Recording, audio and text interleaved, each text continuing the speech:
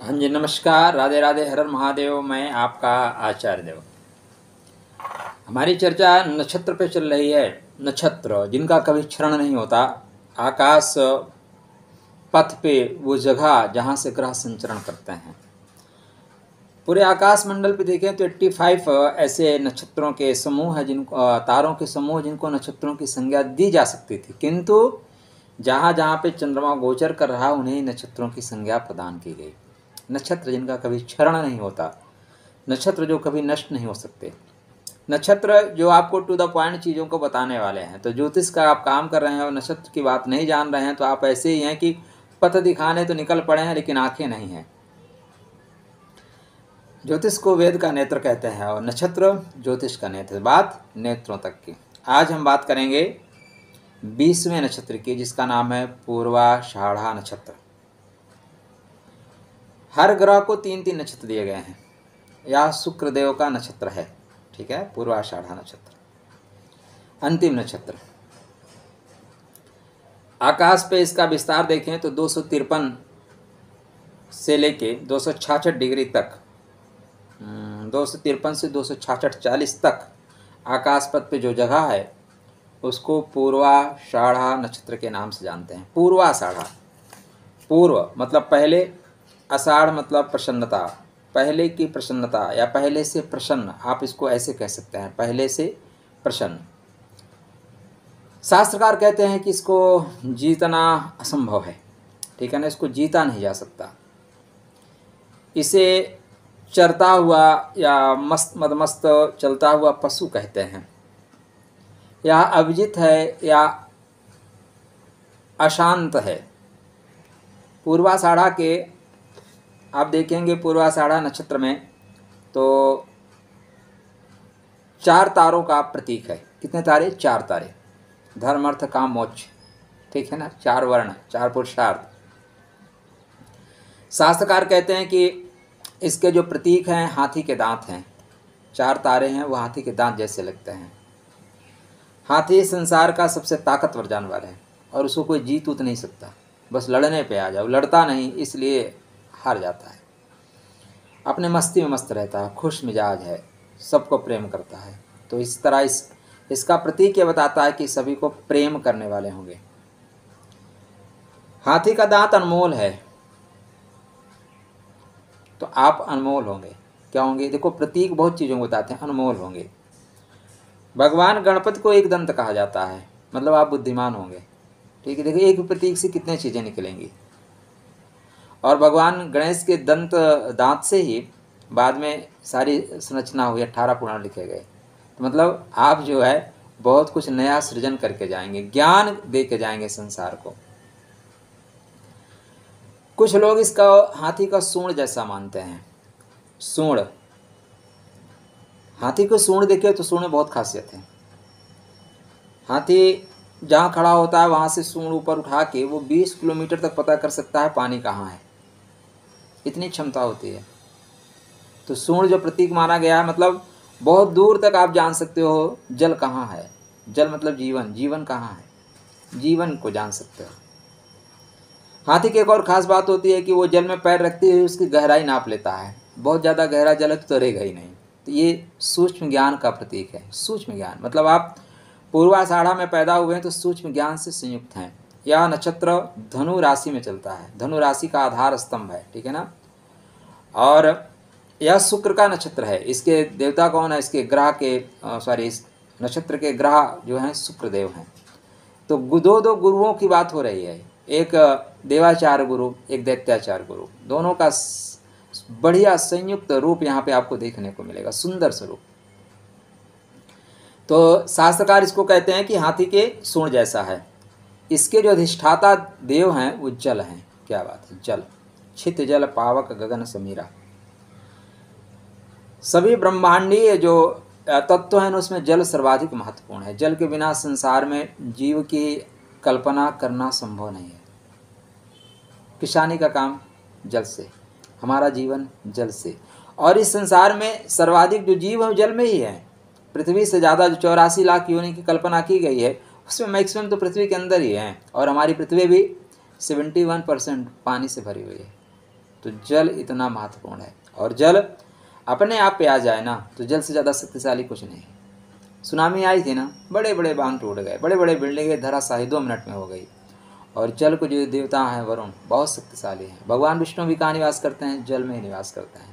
पृथ्वी को अपहरण करके कहाँ ले गया? जल में ले जाया गया। वो ये जल ये अपने समुद्र में नहीं आकाश मंडल में एक समुद्र। जब आप बृहद रूप में पढ़ेंगे तब पाएँगे। ऐसे तो आप सोचेंगे पृथ्वी को समुद्र में कहाँ डुबाया जा सकता है? ठीक है ना? तो दूसरे जल की बात है। खैर और चीज़ें हम आपको बताते चलेंगे। तो इस नक्षत्र के हम कारकत्व को जान लेते हैं, फिर जानेंगे इसके स्वभाव को और कर्मा व्यवसाय को, क्या करना है, क्यों करना है, इस नक्षत्र में क्यों पैदा हुए हैं। पैदा होने का आपका उद्देश्य क्या है और कर क्या रहे हो? डिटेल में। चर्चा आरंभ करें तो उसके पहले ये विनम्र अनुरोध है आपसे कि कृपया चैनल को सब्सक्राइब करें। देखें, ज्योतिष में नक्षत्र जो है ना आधार स्तंभ है और आप हमें सपोर्ट करेंगे तो इसका फ़ायदा ये होगा कि और ज्योतिषी भी हमारे तरह नक्षत्रों की बात करना शुरू करेंगे तो ज्योतिष के लिए अच्छा होगा। तो आप हमें सपोर्ट किस लिए कर रहे हैं? ज्योतिष को बेहतर करने के लिए तो सपोर्ट करिए। वीडियो आप देखोगे डेफिनेटली पसंद आएगा तो जानकारी के लिए मित्रों के पास शेयर ज़रूर करिएगा। तो शास्त्रकार कहते हैं कि धनु राशि में तेरह, बीस से छब्बीस, चालीस अंश तक यह पूर्वाषाढ़ा नक्षत्र चलता है। इसको खगोल शास्त्र में बीसवा नक्षत्र कहते हैं, थोड़ा सा उग्र है। वैसे शुक्र का नक्षत्र और उग्र, थोड़ा सा यहाँ पे चीज़ें मिलेंगी। या शास्त्रकार कहते हैं, राजसिक है, थोड़ा अशुभ है। अशुभ शास्त्रकारों ने क्यों कहा, उसको आगे देख लेंगे। और, ठीक है। इसकी जो योनि है, बानर है। बानर के अपने परिवार का रक्षण करना थोड़ा चंचल है। थोड़ा चंचल है और अपने परिवार का रक्षण करना जानता है। मनुष्य गण है नाड़ी मध्य है। मनुष्य वो है जो देवता बन सकता है, जो दानव बन सकता है। मनुष्य में विकास के पार संभावनाएँ हैं। तो मनुष्य गण है, मध्य नाड़ी है। वर्चो ग्रहणा शक्ति है। जो नक्षत्र की शक्ति होती है, बहुत इंपॉर्टेंट होती है। नाम क्या है? वर्चो ग्रहणा शक्ति। मतलब स्फूर्ति को जगाने वाला, ताजगी को बनाए रखने वाला, आपको एनर्जी देने वाला। ठीक? इसके दो तारे हैं। इसका अर्थ है शीघ्र जीत शीघ्र जीत या पराजित चार तारे हैं कहीं कहीं दो तारे भी शास्त्रकार कहते हैं। इसका मतलब होता है शीघ्र जीत विजय, फटाफट ट्वेंटी ट्वेंटी जैसे हम जाएँगे, चौ चौका छक्का मार के चले आएँगे। या पराजित हो जाएँगे, मैच ड्रा करा लेंगे, हारेंगे नहीं। पंच तत्वों में पहला जो अनमोल तत्व है, वो जल तत्व है। मन, आकाश, वायु, अग्नि के पश्चात जो सारी चीज़ें हुई हैं उत्पत्ति कहाँ से है? एनर्जी उत्पत्ति कहाँ से होती है? जल से। लाइट कहाँ से पैदा होती है? जल से। ठीक है ना? तो इसको जीवन दायनी शक्ति वाला नक्षत्र कहा गया है। अब आप देखें, जल के दो पुत्र हैं, एक अप हैं, एक अपत हैं। या अपत और नपत, ये नदी और झील के दोनों देवता हैं। वरुण देव समुद्र के रक्षक हैं और बारिश के देवता हैं। तो ये वरुण देव से रिलेशन बनाएँगे, ठीक है ना? ये जो दो, जो यहाँ पे देवता कहे गए हैं, अप और नपत, ये आपके क्या है? नदी में आप स्नान करते हैं और अनावश्यक रूप से अगर आप वहाँ पर अनावश्यक गलत तरीके से स्नान करते हैं तो आपके पाप का मोचन करने के लिए, पाप का पाप को नष्ट करने के लिए इन देवताओं की पूजा और आराधना होती है। बहुत खास पॉइंट है ये। ठीक है। आप देखेंगे तो इसका एक और प्रतीक है जो पंखा पंखा हाँका जाता था। आज नहीं, आज से बहुत पहले। गाँवों में आप जाते थे तो आप विशिष्ट हैं तो आपको पंखा झाला जाता था, राजाओं को पंखा झाला जाता था। पंखा बहुत काम करता था, अग्नि प्रज्वलित करने का काम है। तो पंखा गति देने का है, पंखा शांति प्रदान करने का। अतः नक्षत्र गतिमान है, नक्षत्र शांति प्रदान करने वाला है। ठीक है ना? दो अर्थों में लीजिएगा। शांति भी देगा, गति भी देगा। इस नक्षत्र की विशिष्टता जो है, विशिष्टता यह है कि युद्ध की घोषणा का विजय का नक्षत्र है। हम्म? या अगर आप कोई चीज़ को ललकारना चाहते हैं, आओ दो दो हाथ हो जाए तो उसका नक्षत्र है। ललकार दीजिए। क्यों? क्योंकि गुरु के मूल त्रिकोण राशि में है। और गुरु कोई भी काम करता है तो प्लान के साथ करता है। तो आप जीवन में किसी को ललकारेंगे ना तो पहले प्लान बनाएँगे कि हाँ बेटा, हम प्लान कर लिए आओ। अब दो दो हाथ हो जाता है। तो यह युद्ध की घोषणा का विजय का नक्षत्र है, अपराजित नक्षत्र है। मतलब इसको हराया नहीं जा सकता। विजय का नक्षत्र है। इनको हराना मुश्किल होता है, इसलिए इनसे सोच समझ कर लड़िए। इसमें जातक प्रभावी होता है, अधिकार युक्त होता है थोड़ा सा दार्शनिक विचारों वाला होता है, क्योंकि गुरु का मूल स्वरूप है ना यहाँ पे, निडर है, आक्रामक हैं, समाज आरोहक हैं, समाज आरोहक हैं पॉइंट याद रखिएगा। अजय हैं, स्वतंत्र है, अहंकारी हैं, शक्तिशाली हैं, और जल और समुद्र से लाभ लेने वाले हैं, ठीक? प्राथमिक जो शिक्षा होती है, थोड़ी सी तितर बितर होती है, प्राथमिक शिक्षा में परेशानी होती है। जल उद्योग, जल यात्रा, विदेश यात्रा पानी का काम करना, समुद्र के किनारे काम करना, ये सारी चीज़ें आपके लाभकारी हैं। पूर्वाषाढ़ा नक्षत्र विवाह में बाधक नक्षत्र माना गया है। दुखद वैवाहिक जीवन, प्रारंभिक वर्षों में थोड़ी सफलता मिलती है, लेकिन बाद में वैवाहिक जीवन दुखद होता है। पूर्वाषाढ़ा नक्षत्र को जो देवता अपा हैं तो जल प्रकृत हो जाएगी। अग्नि तत्व में चल रहा है। पॉइंट क्या है? धनु राशि अग्नि तत्व राशि है, लेकिन नक्षत्र जल तत्व को लेकर चलता है। अब जातक के अंदर आग और पानी दोनों है तो कहाँ पे संयम बरतना है और कहाँ पे क्रोध दिखाना है दोनों है और जो अपने क्रोध को जीत लिया, उस संसार में अजय है अवजित है, कोई उसको हरा ही नहीं सकता। इसलिए जातक अजय है। अजय क्यों है? अजय होने के पीछे जो कारण है, इसलिए जातक अजय है कि उसके साथ ऐसी चीज़ें चल रही हैं। स्वतंत्र हैं, अहंकारी हैं, थोड़े से प्रभावी होंगे, निश्चित रूप से। थोड़ा क्रोधी होंगे जल संबंधी कामों में लाभ होगा। आठ वर्ष, सोलह वर्ष, इक्कीस वर्ष, बाईस वर्ष, छब्बीस वर्ष, अट्ठाईस वर्ष, तीस वर्ष, पचास वर्ष अत्यंत शुभ होते हैं। शास्त्रकार कहते हैं कि सुगठित, आकर्षक, सुंदर शरीर वाले हैं। अब गुरु अगर अच्छे हुए तो बहुत अच्छे रहेंगे। गुरु की उपस्थिति के ऊपर यह चीज़ें देखी जाएँगी, लेकिन नक्षत्र सुंदर शरीर, सुंदर आवरण देने की बात करता है कि सुंदर शरीर आपको मिलेगा। लंबे कान होंगे। कान लंबे होंगे मतलब भोगात्मक शक्ति ज़्यादा होगी। शास्त्रकार कहते हैं कि सुंदर दंत, लंबे कान, चमकीली आँखें, बादाम सी आँखें, लंबी भुजा। थर्टी टू ईयर्स तक कठिनाइयाँ या अवसाद आती हैं। जीवन में थर्टी टू ईयर के बाद आपका भाग्योदय होता है। बत्तीस वर्ष के बाद भाग्योदय होता है। पचास वर्ष में आपकी उन्नति जो है चरम पे होती है। जैसे पचास अड़तालीस से पचास पहुँचेंगे उन्नतियों के आप चरम पे होंगे। विवाह थोड़ा विलंब से करते हैं विवाह विलंब से होता है। दाम्पत्य जीवन अधिकांशतया इनका सुखद ही दिखाई पड़ता है। हम्म, चिकित्सा या ललित कला में विशेष सफलता आपको प्राप्त होती है। व्यवसायिक विकास अगर आप व्यवसाय में हैं तो नौकरों पर निर्भर रहते हैं। आप खुशता काम नहीं करते थोड़े आराम पसंद हो जाते हैं। माता पिता की अपेक्षा जो आपके मित्र हैं भाई बहन हैं, वो आपको ज़्यादा सपोर्ट करते हैं। माता पिता की अपेक्षा भाई बहन या मित्र आपको ज़्यादा सपोर्ट करेंगे। पत्नी ज़्यादातर सुखदात्री, समान विचारधारा वाली होती है। पुरुष जातक हैं तो आपका विवाह विलम्ब से होता है। अभी इसको हम जब इस नक्षत्र पे जाएँगे तो नक्षत्र पे चेक कर लेंगे कि चीज़ें मिलेंगी कि नहीं मिलेंगी। वहीं पर यदि आप जातिका हैं मतलब आप स्त्री हैं तो शास्त्रकार कहते हैं कि सुंदर आकृति है। गौर वर्ण है, वर्ण तो आप स्थान के अनुसार लीजिएगा। गर्म प्रदेश में है तो वर्ण गौर नहीं होगा, श्याम वर्ण होगा, लेकिन सुंदरता होगी। श्याम वर्ण ही बहुत अट्रैक्टिव होता है। भगवान विष्णु के लिए श्याम वर्ण प्रतीक किया गया, भगवान कृष्ण के लिए श्याम वर्ण कहा गया है ना? उसमें श्याम वर्ण से लोग जो है मुग्ध हो जाते हैं। लज्जावान है, सद्गुणी हैं शोभा युक्त हैं। आपकी आँखें बिल्कुल बादाम जैसी हैं, कटीली आँखें हैं। सुंदरता में यह आँखें आपके चार चाँद लगा देती हैं। उत्साहित हैं, चेतन मनोमस्तिष्क को लेकर चलने वाले हैं। हर बात में तर्कयुक्त हैं मतलब कोई भी बात बेवजह आप समझा दो, बेवजह समझ लें, ऐसा नहीं है। तर्क के साथ समझाना पड़ेगा। पालतू जानवरों के विशेष शौकीन हैं। जो भी लोग जीवन में पालतू जानवर पालते हैं, बिल्ली पाल लिए, कुत्ता पाल लिए और भी जो पालते हैं, खासकर कुत्ता पालने के विशेष शौकीन होते हैं। समाज में देखिए, आजकल कुत्ता पालने का प्रचलन बहुत चला है। लोग अपने माँ बाप को नहीं घुमाएँगे, कुत्तों को ज़रूर घुमाएँगे। बच्चों को गोदी नहीं लेंगे, कुत्तों को गोदी ले लेंगे। होता है अट्रैक्शन होता है। नक्षत्र ही दे रहा तो क्या करेंगे? रिश्तेदारों में वरिष्ठ होते हुए भी माता पिता भाई से जो संबंध होते हैं, थोड़े से मलिन हो जाते हैं, कटु हो जाते हैं। उच्च शिक्षित हैं कोषालय चिकित्सा विज्ञान धर्म संस्था ललित कला में आप कार्यरत हो सकते हैं। चंद्रमा बुद्ध से युद्ध हो तो लेखन व्यवसाय में आपको बहुत ज़्यादा सफलता मिलेगी। पुरुष जातक की भांति आपको भी थर्टी टू ईयर तक संघर्ष करना पड़ता है। पचास वर्ष के आसपास आपको सफलता बहुत द्रुत गति से मिलती है। जली नक्षत्र है अतः, और अग्नि तत्व दोनों है।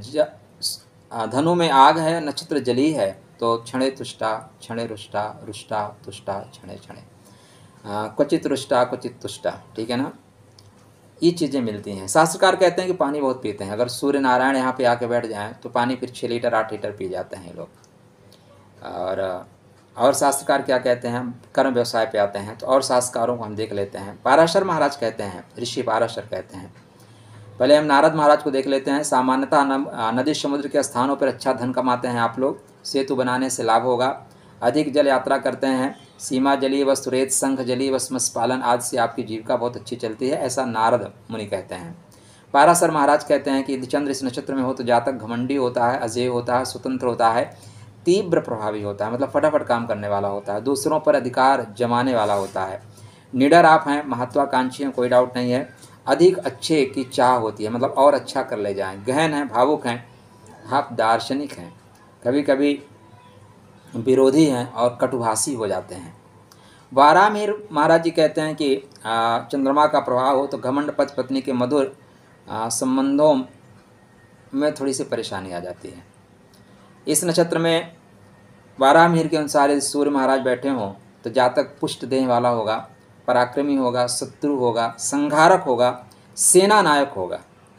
ठीक है ना? भाई देखो, सूर्य राजा है, तेज है, अगर उसको ऐसे नक्षत्र मिल जाए, अभिजीत नक्षत्र में तो फिर उसको कौन दबा सकता है? विध्वंसक हो जाता है। कभी कोई शास्त्रकार कहते हैं, विध्वंसक हो जाते हैं ऐसे लोग, और यहीं पे मंगल और सूर्य का प्रभाव हो जाए तो जहाँ तक विध्वंसक हो भी जाता है। ठीक है ना? और चीज़ों को देखना पड़ेगा। दृढ़ शक्तिशाली हैं, बुद्धिमान है, राजाश्रित है मतलब राजा के यहाँ काम करने वाले हैं, और स्त्रियाँ को अट्रैक्शन देने वाले मतलब अपने आप आपकी तरफ़ चीज़ें घूमेंगी। ठीक है ना? देखिए चीज़ें होती क्या है कि सुंदर चीज़ें सभी को अट्रैक्ट करती हैं। अगर आप सुंदर हैं तो चीज़ें आपको खींचेंगी। इसमें कोई डाउट नहीं है। थोड़े से हम आपकी कर्म व्यवसाय की वार्ता कर लें, फिर और और ग्रहों की बात करेंगे। देखिए, हम पूर्वाषाढ़ा में चार चरण चलेंगे। पहले में सिंह नवांश दूसरे में कन्या नवांश तुला नवांश वृश्चिक नवांश मिलेगा। तो सिंह नवांश में आप सेना का काम कर सकते हैं, पुलिस का काम कर सकते हैं, ठीक है ना? शासन का काम कर सकते हैं। कन्या नवांश में पूरा लेन देन का, व्यापार का काम कर सकते हैं, अच्छे लेखक हो सकते हैं, ठीक है ना? एक जगह से दूसरी जगह सामान ले जाने वाले हो सकते हैं। तुला नवांश में फ़िल्म से रिलेटेड, या फ़िल्म जगत में आप काम करने वाले सुंदर चीज़ों का काम करने वाले हो सकते हैं। वहीं वृश्चिक में है, तब भी आप मंगल के प्रभाव में जाके सेना से रिलेटेड काम, जल जो जल सेना होती है ना, नेवी जिसको बोलते हैं, उसमें आप काम करके बहुत अच्छा फल प्राप्त कर सकते हैं। पूर्वाषाढ़ा के किसी भी नक्षत्र में आप चरण में जन्म हो, राशि आपके धनु ही बनेगी। राशि से आपके गुरु होंगे और नक्षत्र के स्वामी शुक्र होंगे तो दो दो गुरुओं का बल आपको डेफिनेटली मिलेगा मिलेगा। दो दो गुरुओं का बल मिलेगा। तो इस नक्षत्र में जन्म हुआ है तो आप खजांची हो सकते हैं, लेखाकार हो सकते हैं। आप वित्त मंत्रालय में बहुत अच्छा काम करेंगे, चूँकि गुरु खाने पीने का काम करता है तो हलवाई का काम कर सकते हैं आप। स्वीट की दुकान आपकी हो सकती है। पशु चिकित्सक, आकाशवाणी, बैंक, संगीत। कलाकार, साहित्यकार, नाटककार, अभिनेता, रेडीमेड गारमेंट्स शास्त्रकार बहुत चीज़ें बता देते हैं, ठीक है ना? रेस्तरा का काम करें, श्रृंगार प्रसाधन से चीज़ें आपको डेफिनेटली लाभ देंगी। व्यवसाय में आप नर्सिंग होम चला सके हैं, चला सकते हैं, चिकित्सा कर सकते हैं, सामाजिक कार्य कर सकता हो, सकते हैं पी डब्ल्यू डी में बहुत अच्छा काम कर सकते हैं, ठीक है ना? रेल विभाग, सामाजिक कार्यकर्ता, फल, फूल विक्रेता, जल स्टोर प्रोविजनल स्टोर वायुयान सड़क निर्माण, पशुपालन, होटल व्यवसाय, अंतर्राष्ट्रीय व्यापार, स्वास्थ्य केंद्र, रेशम सूत शक्कर, बाग, नर्सरी, रेल विभाग मतलब इतना सारा चीज़। आप कन्फ्यूज़ हो जाओगे। चलो हम नक्षत्र चरणों पे आएँगे। इस पर एक और ख़ास बात अभी याद आया। अंतर्राष्ट्रीय, अगर आप के गुरु अच्छे हो गए तो आप वक्ता जो होंगे ना, गज़ब के होंगे। आपके अंदर जो बोलने की क्षमता है, वो अद्भुत होगी। अंतर्राष्ट्रीय स्तर पे आपको पहचान देगी। ठीक है ना? अभी जो हम इस पर बात करेंगे ना कौन कौन महान लोग पैदा हुए तो आपको देखना, अंतर्राष्ट्रीय ख्याति देता है नक्षत्र। इस पर अब जो जो ग्रह बैठेगा, देखिए, सिर्फ़ चंद्रमा को मत देखिएगा। आप साथ साथ देखते चलिए और कौन कौन ग्रह बैठे हैं। तो उन ग्रहों के अनुसार देखिएगा। सिर्फ़ चंद्रमा बैठे हैं तो मोटा मोटा फल मिलेगा, लेकिन और ग्रह बैठे हैं तो और भी फल मिलेगा। तो आपके मान लीजिए लगने से ही भी आके बैठे हैं तो ऐसी सारी चीज़ें आप बहुत अच्छे वक्ता हो सकते हैं। आपके तृतीय भाव का स्वामी आके यहाँ पे बैठा है आपका भाई बहुत अच्छा वक्ता हो सकता है। आपके पंचम भाव के स्वामी बैठे हैं, आपका संतान बहुत अच्छा वक्ता होगी। आपके पिता के स्वामी बैठे हैं, आपके पिताजी बहुत अच्छे वक्ता होंगे। जीवन साथी का स्वामी बैठा है जीवन साथी बहुत अच्छे वक्ता होंगे। तो जो भी ग्रह इस नक्षत्र में आके बैठेगा, इस नक्षत्र की खूबियों को ले लेगा। पॉइंट ये है, ठीक है ना? इसको ध्यान में रखिएगा। हाँ तो देखिए इसमें रूडोल्फ हिटलर का जन्म जो है चंद्रमा इसी नक्षत्र में था, इसलिए वो अपराजित था। क्या अपराजित था? अग्नि तत्व तो है ना। और ओसो रजनीश ओसो रजनीश भी इसी में पैदा हुए थे उनका सॉरी सूर्य इस नक्षत्र में था, इसलिए उनके प्रवचन की काट किसी के पास नहीं थे। जो बोलते थे ना, लोग मंत्र मुग्ध होकर सुनते थे। जिस धर्म की तार छेड़ देते थे, तार उतार देते थे, उसको कोई बचा नहीं पाता था। तो सूर्य नारायण इस नक्षत्र में होते हैं तो ऐसा फल मिलता है। साथ में अगर चंद्रमा महाराज इस नक्षत्र में है चार चरणों में तो चार चरणों का क्या फल मिलता है वो मैं आपको बता देता हूँ। प्रथम चरण में है तो शास्त्रकार कहते हैं कि चूँकि धनु नवांश मिलेगा तो जातक क्रोधी हो जाएगा, तेज हो जाएगा, प्रभावी हो जाएगा, भ्रष्ट आचरण कर सकता है। दूसरों पर अधिकार करने की इच्छा बहुत रहती है, अहंकारी हो सकते हैं। जलीय वस्तु के प्रेमी होंगे, जल के पास रहने की आपकी इच्छा बहुत ज़्यादा होगी। साथ में प्यास अधिक लगती है, इसलिए बार बार पानी पीते रहना पड़ता है। शास्त्रकार कहते हैं कि दूसरे चरण में अगर आप हैं सॉरी पहले चरण में आपको सिंह नवांश मिलेगा। दूसरे चरण में आपको कन्या नवांश मिलेगा तो दूसरे चरण में है तो सौम्य हो जाएँगे। बुद्ध का प्रभाव मिलेगा ना, तेज होंगे, चमकदार होंगे, नेत्र आपके अच्छे होंगे, स्वाभिमानी होंगे, महिलाओं के अत्यंत प्रिय होंगे। महिला मतलब महिला है तो पुरुष के पुरुष हैं तो महिला, क्योंकि जातक जातिका की बात है। निडर होंगे, प्रसिद्धि को चाहने वाले होंगे, परिवार में अमूल्य होंगे आप, अनमोल होंगे, गरीबों के मददगार होंगे। तीसरे चरण में है तो तुला का शुक्र नवांश मिलेगा तो तुला का शुक्र नवांश मिलने से शीघ्र प्रसन्न होने वाले, शीघ्र लाभ देने वाले और शीघ्र नाराज़ होने वाले और नाराज़ हो जाएँगे तो नुकसान करने वाले हो जाएँगे। अपने तरीके से जीवन को मस्ती में जीने वाले आनंद युक्त जीवन व्यतीत करने वाले, गहन भावुक दार्शनिक होते हैं। चालीस वर्ष के पश्चात अप्रत्याशित लाभ या हानि होती है। धन व्यय भी करेंगे तो प्रत्याशित करेंगे लाभ भी होगा तो प्रत्याशित होगा। चतुर्थ चरण। देखिए तृतीय चरण क्या है कि अब धनु राशि हो गई तो शुक्र आपकी कुंडली में जो है ना आ, कारक नहीं होते। शुक्र आपके कुंडली में क्या हो जाएँगे कि खस्टेस हो जाएँगे। इसलिए इस तरह की चीज़ें मिलती हैं। समझते चलिए। चतुर चरण में जाता क्या है तो स्वाभिमानी स्वतंत्रता के साथ जीने वाला चतुर तेज होगा। अपनों का भला करने वाला दूसरों का हित करने वाला छोड़ेगा नहीं। कभी कभी विरोधी दूसरों की स्त्री को भी चाहने वाला घमंडी व्यक्ति हो सकता है। हम्म। अब पूर्वाषाढ़ा में अगर मंगल महाराज हुए तो क्या होगा? अगर प्रथम चरण में है तो जातक लोभी होगा युवतियों का संग पाने का इच्छुक होगा पर स्त्रों में यौनाचार में लिप्त हो जाएगा। इन्हीं कारणों से शरीर में शिथिलता आ जाएगी और कोई न कोई रोग आ जाता है।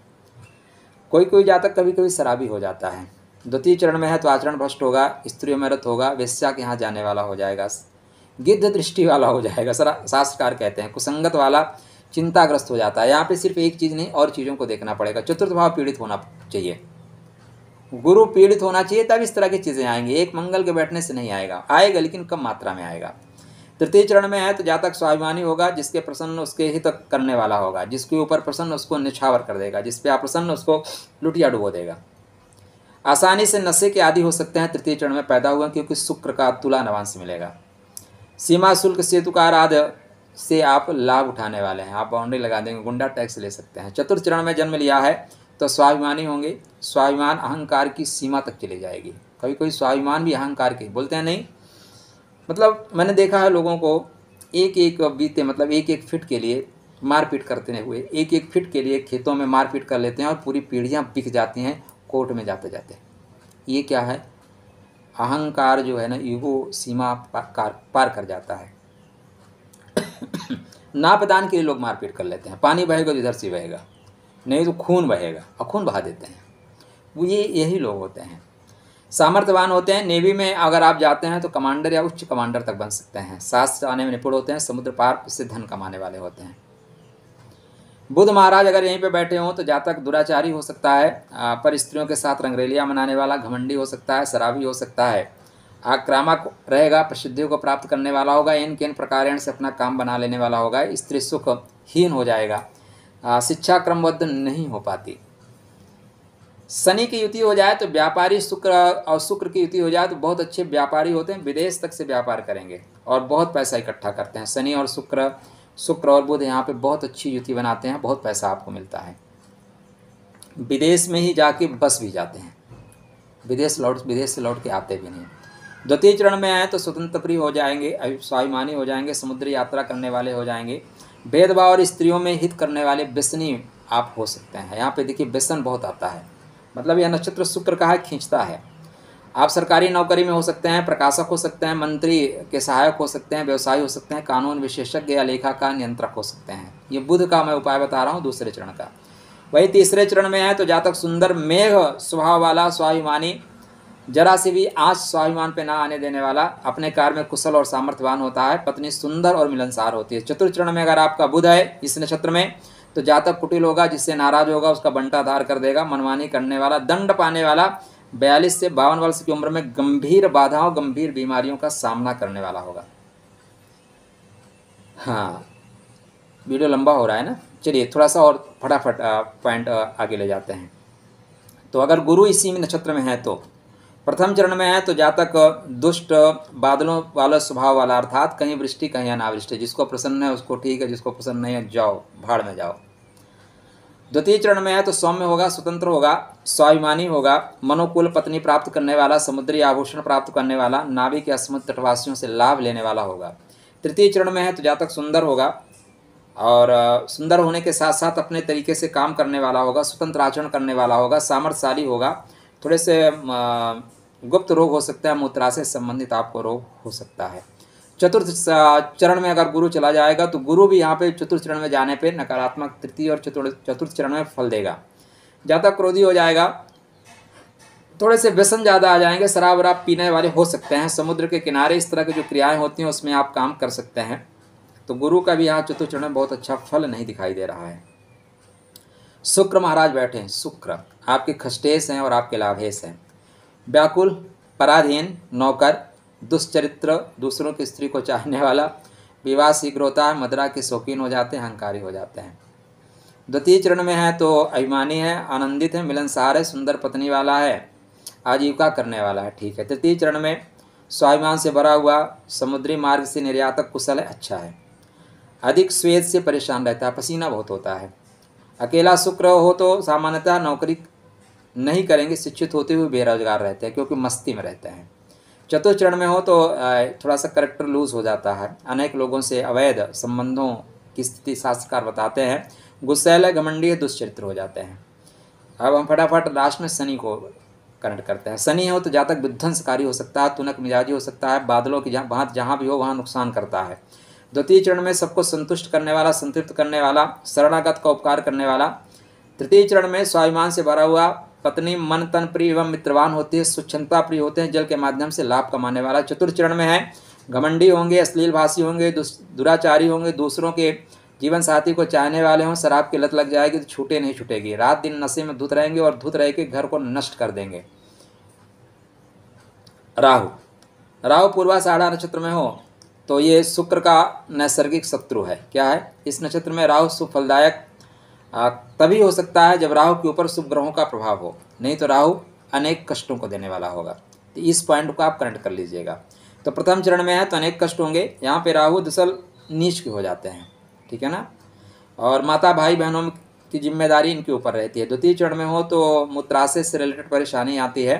तृतीय चरण में हो अनावश्यक दूसरों के काम में उंगली करते हैं। चतुर्थ चरण में हो तो मनोहर हो हैं, प्रभावी हैं, अनेक है विश्वास पात्र हैं और कलाविद हैं। वहीं अगर केतु महाराज यहाँ पे प्रथम चरण में है तो प्यास बहुत लगती है, पेशाब बहुत आता है और शराब की लत कलह के कारण बनते हैं। द्वितीय चरण में है तो शत्रुओं से पराजय, स्त्री से बदनामी, पीड़ा, पारिवारिक कला व्यवसायिक हानि हो सकती है। तीसरे चरण में जलीय से अल्प लाभ शारीरिक, मध्यम, सुख, हानि।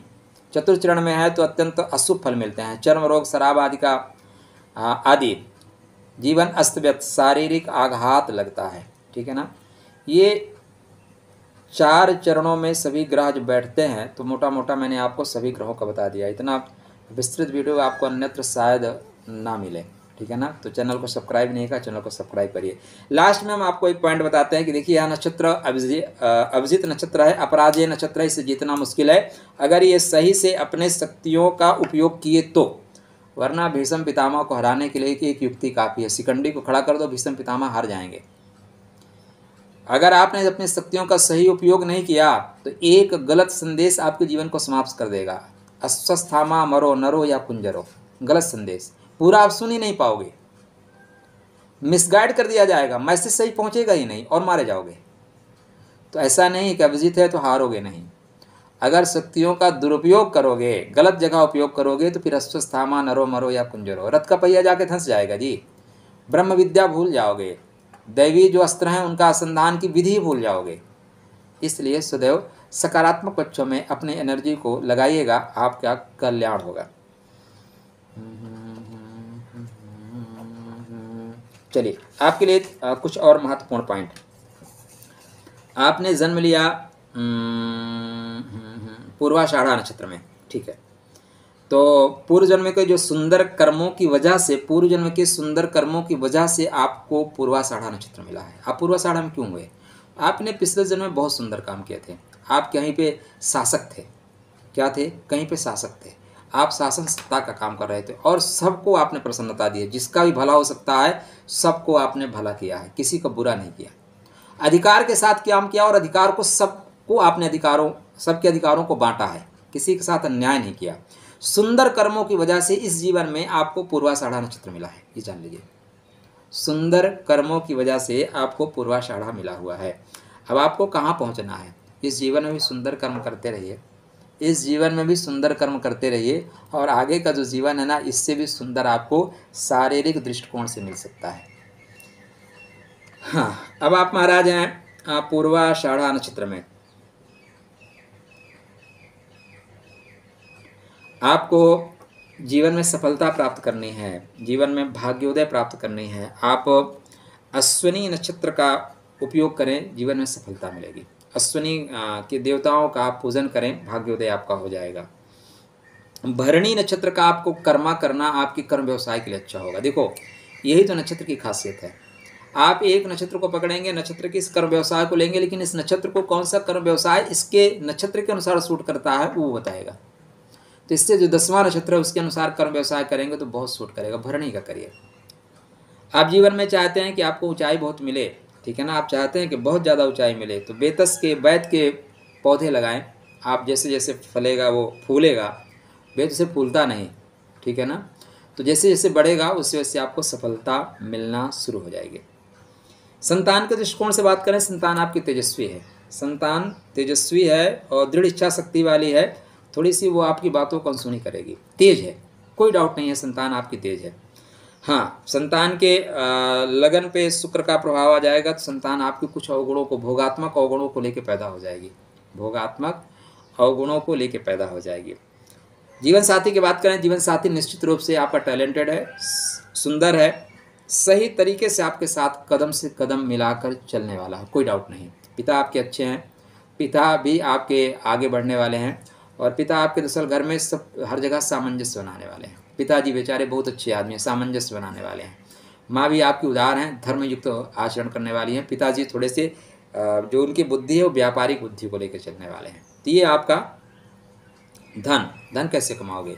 तो कुंडली में अगर शनि अच्छे हैं तो धन की स्थिति कभी खराब नहीं होगी। कुंडली में शनि सेकंड हाउस में थर्ड हाउस में फोर्थ हाउस में फिफ्थ हाउस में फिफ्थ हाउस में इवन दैन कृतिका में नहीं जाने चाहिए अच्छा होगा। सेवन्थ हाउस में नाइन्थ हाउस में, टेंथ हाउस में एलेवेंथ हाउस में है तो पैसे के जीवन में कमी नहीं रहेगी।